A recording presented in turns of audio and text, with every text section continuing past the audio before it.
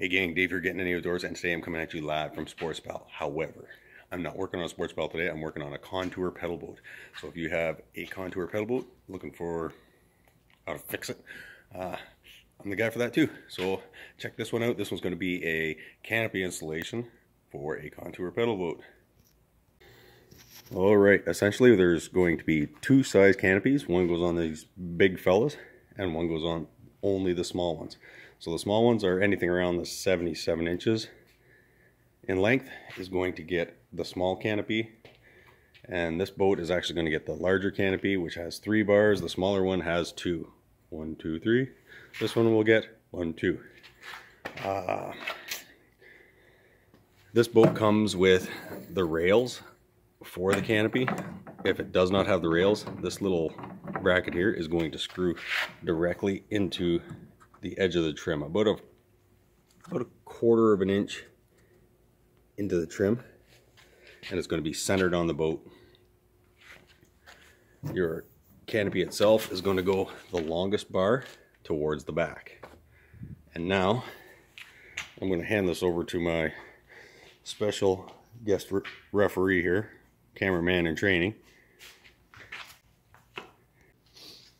Okay, because this slider bar already has that bracket on there. I do not need this base bracket. If I'm installing it on the short one, I will need that to screw it on here.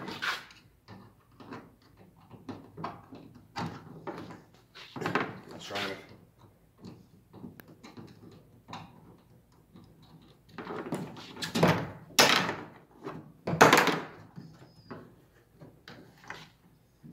The screw always goes in from the outside of the boat inwards.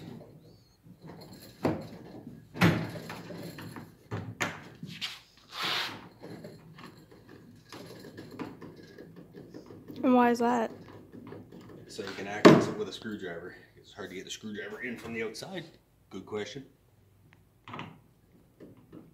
That doesn't have to be screaming tight. I'm going to do the same to the other side. So back to the shorter boat that's 77 inches, your bracket is going to be screwed right into the trim and the plastic that's underneath the trim. If you go into the trim, the screw tips will not come down through the plastic. If you do, no big deal, won't leak. Uh, but if you're installing it on with actual slider bars, these here are just fancy little extra pieces. So don't be alarmed. All right, back over here. First thing you're gonna do after you get all the sliders, wrap your nylon straps.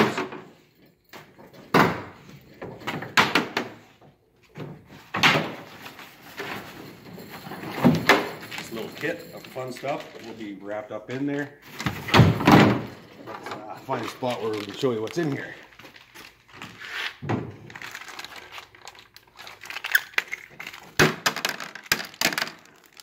There is a little bit of an installation diagram, but if you're watching this, you don't need this. So throw that there.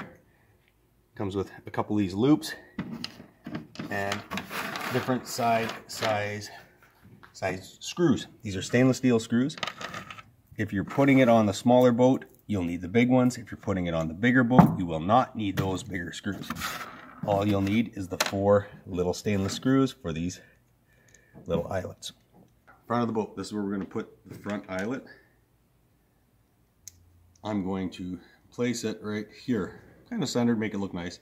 You could put it down here, however your nylon webbing for the straps is going to rub on here and could wear over time. So that's why I like it right there. This old baby in, into play. People shuffling around behind me.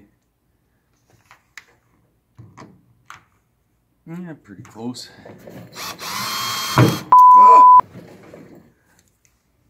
Take two.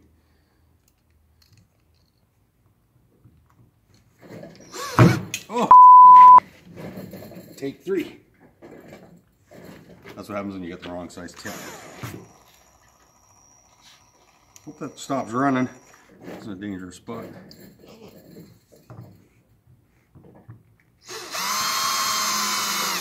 There we go. Pretend those other two didn't happen.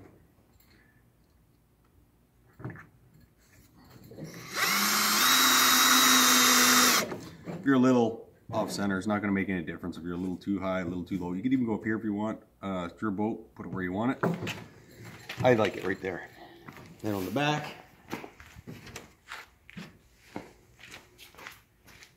on the back, I like to be right up here. You can't go here. However, your webbing is going to run right there. And wear down. So if you are putting a trolling motor on your boat, you're going to want to put it a little bit off to the side so it doesn't interfere with your trolling motor because this is a motor mount.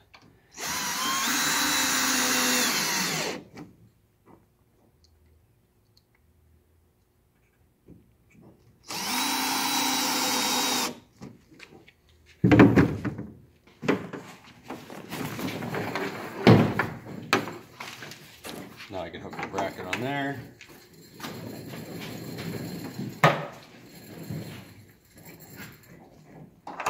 Sounds like the beer store, the rollers. Now, my straps are way, way, way, way, way, way, way too long. So there is a slider on here. And I'm going to shorten that up.